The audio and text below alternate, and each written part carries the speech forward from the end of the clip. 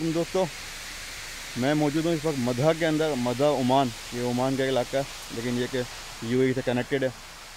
और ये है यहाँ पे वाटरफॉल ये भी आर्टिफिशियली क्रिएटेड है, लेकिन बहुत ही खूबसूरत है। और ये मेरे पीछे आप देख रहे हैं, ये पार्क चलें, आपको मैं जस्ट लोकेशन शो कराता हूँ।